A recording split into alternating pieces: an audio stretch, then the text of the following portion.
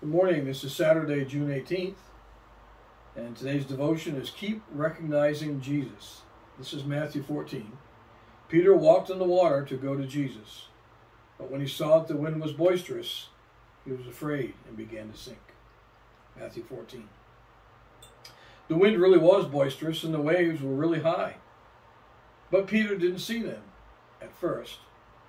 He didn't consider them at all. He simply recognized his Lord stepped out in recognition of the Lord, and walked on water. Then he began to take those things around him into account, and instantly down he went. He took his eyes off Jesus and looked at his surroundings. And I have a question to ask us Do we do this with the condition of the world we're living in today?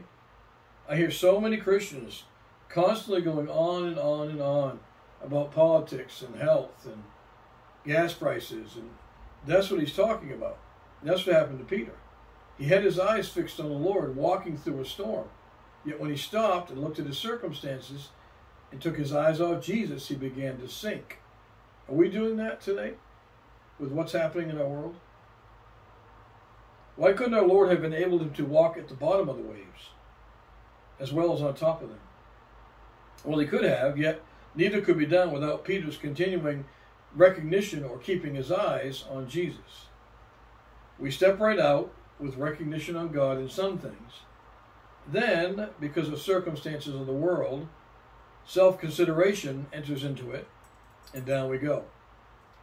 If you are truly recognizing your Lord, you have no business being concerned about how or where He engineers your circumstances. Where you stand is where you stand in Him.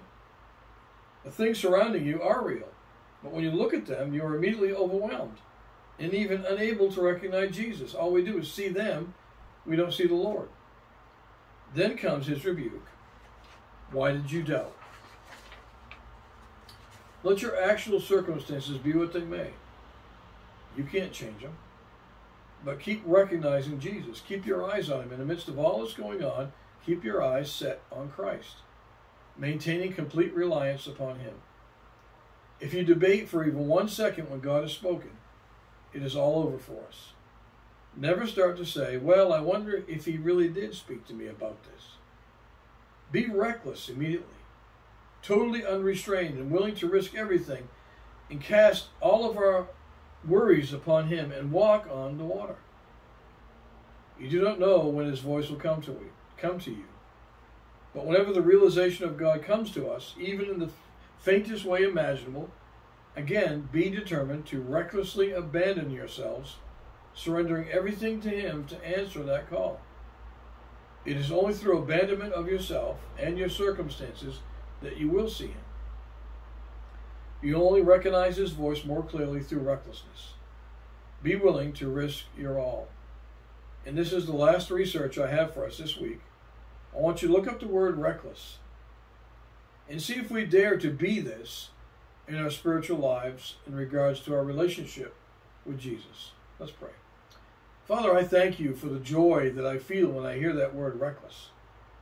It just makes me feel like I can abandon everything and just walk towards you. So, Lord, may we be reckless today in our abandonment towards you. And Lord, if we are indeed focused on the things of the world, if the things I mentioned are weighing us down, I pray right now, Father, that we would lift up our heads and recognize you again and allow you to lift us up to where you know we need to be. We love you, Father. We thank you for this week of devotions, and we give it all to you. In Christ's name, amen. God bless, and I will see you at church tomorrow at 9 o'clock because we have Sunday school. That's right. We start Sunday school this Sunday, so 9 o'clock. So, praise team, you got to be here by 8. 8 o'clock for praise team, 9 o'clock Sunday school, and then right into worship service. God bless, and I'll see you there.